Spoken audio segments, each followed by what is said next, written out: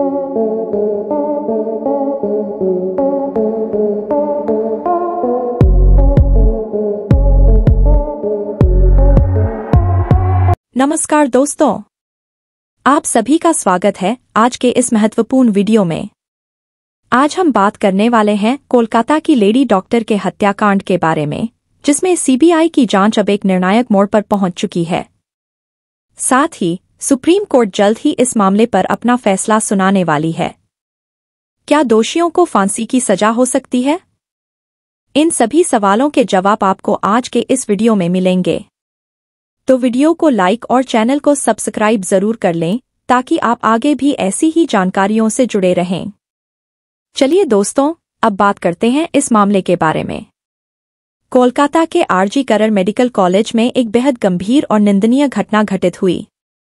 एक lady doctor, जो अपनी पढ़ाई और करियर पर ध्यान दे रही थी, का न सिर्फ़ बलात्कार किया गया, बल्कि उसकी बर्बरता से हत्या भी कर दी गई।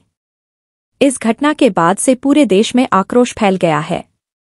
यह घटना न केवल परिवार के लिए, बल्कि समाज के लिए भी एक बड़ा झटका है। अब तक एक महीने से अधिक समय बीत चुका है, लेकिन अब तक उस लेडी डॉक्टर को इंसाफ नहीं मिल पाया है। समाज के हर वर्ग से एक ही मांग उठ रही है कि जिन आरोपियों ने इस कांड को अंजाम दिया, उन्हें कड़ी सजा दी जाए। इस केस की जाँच शुरू होते ही सीबीआई ने पहले संजय रॉय नाम के व्यक्ति को गिरफ़्तार किया। संजय रॉय पर आरोप था कि उसने घटना को अंजाम दिया। इसके बाद सीबीआई ने और भी कई लोगों को गिरफ़्तार किया, जिनमें कॉलेज के भूतपूर्व प्रिंसिपल संदीप घोष और एसएचओ अभिजीत मंडल शामिल हैं। गिरफ्तारियों का यह सिलसिला तब शुरू हुआ जब सीबीआई को मामले में कुछ शुरुआती सबूत मिले, जो आरोपियों की पहचान और उनकी संलिप्तता को साबित कर रहे थे। यह गिरफ्तारी समाज में एक उम्मीद जगाने का काम कर रही है कि शायद इंसाफ जल्दी ही मिलेगा। जाँच में नए सबूतों की खोज जारी है।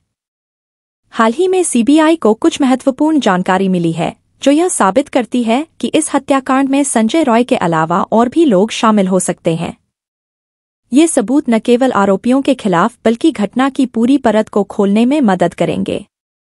सीबीआई की टीम ने कई गवाहों से पूछताछ की है, और उनके बयान एक जटिल लेकिन स्पष्ट तस्वीर पेश कर रहे हैं। इस प्रकार, जाँच में तेज़ी आ रही है, और उम्मीद है कि जल्द ही सच्चाई सबके सामने आएगी। पोस्टमार्टम रिपोर्ट से यह साफ़ हो गया है कि लेडी डॉक्टर के शरीर पर 26 गंभीर जख्म के निशान थे। यह तथ्य एक बड़ा संकेत है कि इस हत्या में केवल एक व्यक्ति का हाथ नहीं था, बल्कि संभवतः कई लोग शामिल थे। पोस्टमार्टम करने वाले डॉक्टर ने यह भी बताया कि उनके साथ बर्बरता करने वाले ने उनके शरीर को कई बार चाकू से गोदा था। यह रिपोर्ट न केवल मामले की जटिलता को दर्शाती है, बल्कि यह भी बताती है कि इस मामले में अब तक की गिरफ्तारियाँ पर्याप्त नहीं हो सकती। यह जानकर हर किसी को झटका लगा है कि एक व्यक्ति के लिए इतनी बर्बरता करना संभव नहीं हो सकता। लेडी डॉक्टर के माता पिता ने सीबीआई से कई बार मिलकर इंसाफ की गुहार लगाई है। उनके आँसू और दर्द ने हर किसी को झकझोर कर रख दिया है। उन्होंने सीबीआई से स्पष्ट तौर पर कहा कि उनकी बेटी को इंसाफ दिलवाने की ज़िम्मेदारी सरकार और जाँच एजेंसियों की है। उनके माता पिता ने कहा कि जब तक असली कातिल पकड़े नहीं जाते उन्हें चैन नहीं आएगा।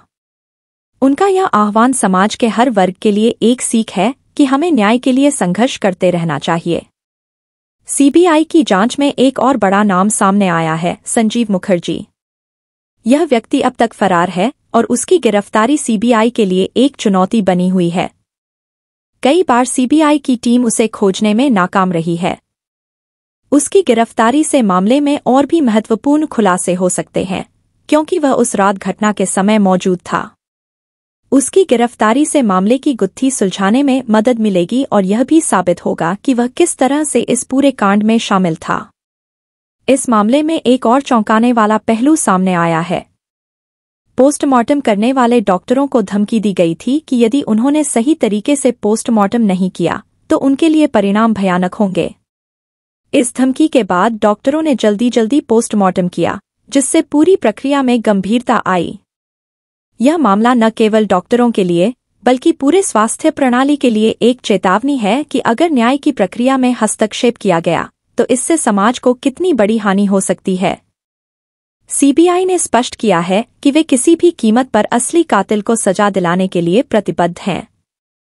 उनकी ओर से कहा गया है कि अगर उन्हें फांसी की सजा दिलवाने के लिए कुछ भी करना पड़े तो वे पीछे नहीं हटेंगे। सीबीआई की यह संकल्पना सभी को यह विश्वास दिलाती है कि इस मामले में न्याय होगा। उनकी यह घोषणा समाज में एक उम्मीद जगा रही है कि शायद अब इंसाफ जल्दी ही मिलेगा। सुप्रीम कोर्ट 15 अक्टूबर 2024 को इस मामले पर अपना फैसला सुनाने वाला है। यह फैसला हर किसी के लिए अत्यंत महत्वपूर्ण है, क्योंकि इससे यह तय होगा कि क्या दोषियों को फांसी की सजा दी जाएगी। सभी की निगाहें सुप्रीम कोर्ट पर टिकी हुई हैं। और समाज में चर्चा हो रही है कि न्याय की इस प्रक्रिया में क्या होगा। यह एक ऐसा मामला है, जिसमें सभी को न्याय की आशा है और सभी यही चाहते हैं कि दोषियों को सख्त से सख्त सजा दी जाए। दोस्तों, इस वीडियो के माध्यम से हमने कोलकाता की लेडी डॉक्टर के हत्याकांड के बारे में कई महत्वपूर्ण बातें साझा की हैं। हर किसी का यही सपना है कि इस बेटी को इंसाफ मिले। इस घटना ने समाज को झकझोर दिया है और हमें इस मुद्दे पर खुलकर बात करनी चाहिए।